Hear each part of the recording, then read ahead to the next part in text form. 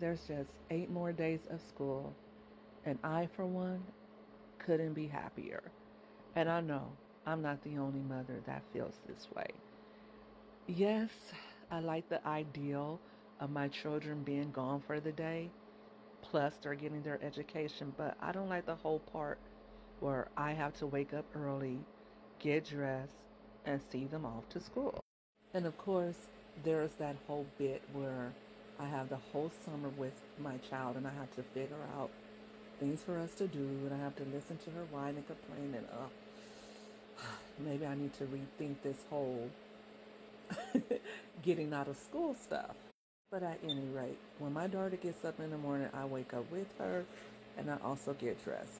There used to be a time when I I would just throw on whatever, but I have stuff to do, so I may as well get my day started early since I'm up anyway.